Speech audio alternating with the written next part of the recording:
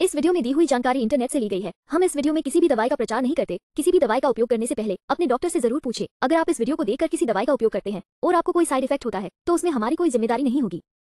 Cetaphil pro dryness control day protect hand cream विशेष रूप से हाथों की शुष्क से बहुत शुष्क त्वचा के लिए तैयार की गई है।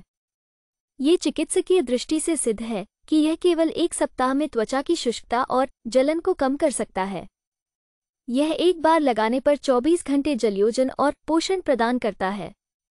यह उत्पाद विशिष्ट रूप से जोजोबा के बीज के तेल और विटामिन ई से तैयार किया गया है।